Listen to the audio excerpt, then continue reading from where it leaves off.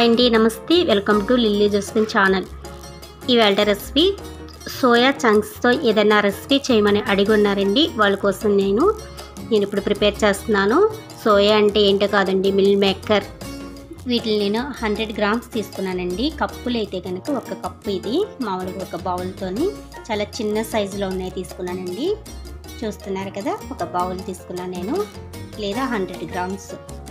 ముందుగా నేను స్టవ్ వెలిగించుకొని కొద్దిగా వేడి నీళ్ళు పెట్టుకున్నానండి హాట్ వాటర్ అవి మరిగేటప్పుడు మనం తీసుకున్న ఈ మిల్ మేకర్ని అందులో వేసుకోవాలండి. వేసుకొని ఒక్క నిమిషం లేదా రెండు నిమిషాలు చాలండి. వాటిని మనం కుక్ చేసుకుంటే సరిపోయింది చూసారు కదా ఉడికిపోయింది.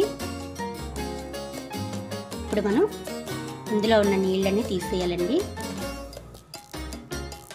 అందులో ఉన్న నీళ్ళని మనం తీసేసుకుందాం ఉడికిపోయిందండి ఇది. ఏదైనా ఒక జల్లు లాంటిది ఏదైనా ఉంటే దాంట్లో మనం తీసుకుంటే సరిపోద్ది ఈ విధంగా దాంట్లో ఉన్న వాటర్ అంతా తీసి ఇది కొద్దిసేపు చల్లారాలండి బాగా. ఎందుకంటే దా మళ్ళీ అవి మనం పిండాలి చేతితో. కాబట్టిగా కొద్దిగా చల్లారిన తర్వాత మనం ఈ విధంగా చేతితో పిండుకొని వేరే దాంట్లో వేసుకోవాలి. వాటర్ అంతా చేతితో పిండేసి నేను వేరే బౌల్లో వేసుకుంటున్నానండి నేను ముందుగానే ఇవి చిన్న సైజు తీసుకున్నానండి. పెద్ద సైజు తీసుకుంటే కనుక మళ్ళీ అవి కట్ చేసుకోవాలండి మనం. కాబట్టి నేను చిన్న సైజే తీసుకున్నాను. ఈ విధంగా మొత్తం అన్నీ పిండుకొని దాంట్లో వేసుకుంటున్నాను. చూసారు కదండి నేను వేసుకున్నాను. నేను టూ ఎగ్స్ తీసుకున్నానండి దీంట్లో వేయడానికి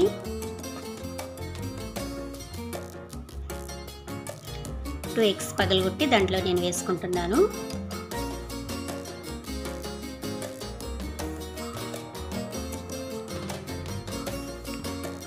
ఒక పావు teaspoon ginger garlic paste అర టీ స్పూన్ కారం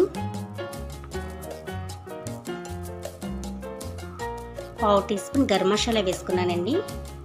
ఇప్పుడు దీన్ని మనం బాగా కలుపుకోవాలి. ఒక స్పూన్ తీసుకొని ఇట్లా కొద్దిగా సాల్ట్ కూడా వేసుకున్నాను. ఇప్పుడు బాగా కలుపుకుందామండి దీన్ని. కలుపుకున్నాం కదండి. ఒక రెండు నిమిషాలు దీన్ని మనం పక్కన పెడదాము. మిగతా ప్రాసెస్ చూద్దామండి.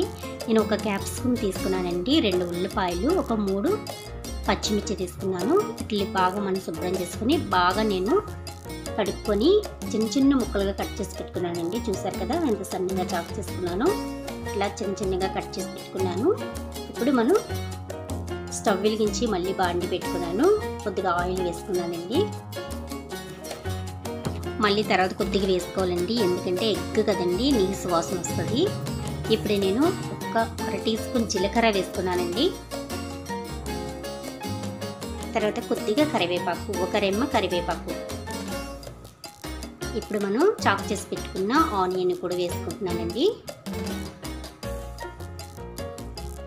గ్రీన్ చిల్లీ ఆనియన్ కూడా వేసుకున్నాను. ఇవి కొద్దిగా ఫ్రై అయింది కదండి. క్యాప్సికమ్ కూడా వేసుకున్నాను. అది కొద్దిగా ఫ్రై అయిన తర్వాత వీటిని మనం లో ఫ్లేమ్లో పెట్టుకొని ఫ్రై చేసుకుందామండి. ఒక ఐదు నిమిషాలు మూత పెట్టుకుందాము. ఒక ఐదు నిమిషాలు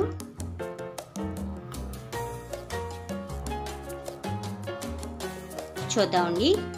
ఐదు నిమిషాలు అయిపోయింది. బాగా ఫ్రై అయిపోయిందండి. క్యాప్సికం అలాగే ఉల్లిపాయ కూడా బాగా ఫ్రై అయిపోయింది.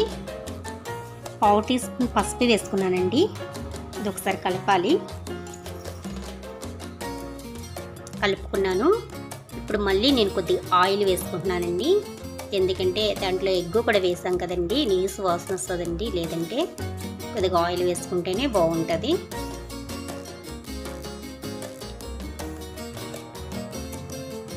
మనం కలిపి పెట్టుకున్న ఈ సోయాని దీంట్లో వేసేసుకుంటున్నామండి. వేసుకుని ఇప్పుడు హైలో పెట్టుకోండి. హైలో పెట్టుకొని కలుపుకోండి. ఒక ఐదు నిమిషాలు నేను కలుపుకుంటున్నాను. హైలో పెట్టుకొని ఇట్లా కలుపుతూ ఉండండి. ఒక ఐదు నిమిషాల పాటు.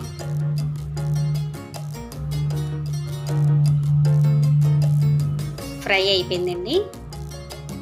మనం వేసుకున్న హెగ్ అంతా ఫ్రై అయిపోయింది. సోయా కూడా ఫ్రై అయిపోయింది.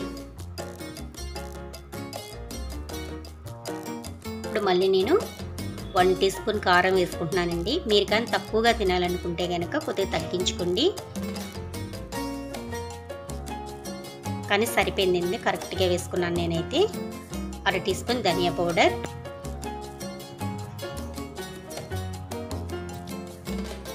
ఒక టీ స్పూన్ మళ్ళీ గరం మసాలా వేసుకొని బాగా కలుపుకుంటున్నానండి.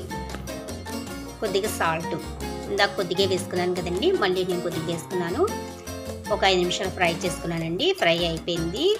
ఇప్పుడు లాస్ట్లో కొద్దిగా ప మళ్ళీ పచ్చి కరివేపాకు అట్లాగే కొద్దిగా కొత్తిమీర వేసుకొని ఒకసారి కలుపుకుంటే మన సోయా చంక్స్ రెడీ అయిపోయిందండి. చూసారండి? మీరు అడిగిన రెసిపీ రెడీ అయింది. దీన్ని మనం సర్వింగ్ బౌల్లో తీసుకొచ్చండి. చాలా టేస్టీగా ఉందండి. చాలా చాలా బాగుంది. చాలా బాగా వచ్చింది. ఒకసారి మీరు కూడా ట్రై చేయండి. మీకు ఏ విధంగా కుదిరిందో నాకు కామెంట్లో పెట్టండి. ఓకేనండి. మీకు నచ్చితే కనుక లైక్ చేయండి షేర్ చేయండి. మన ఛానల్ని సబ్స్క్రైబ్ చేసుకోండి బెల్ ఐకన్ ట్యాప్ చేయండి. ఓకేనా ఫ్రెండ్స్? Bye bye.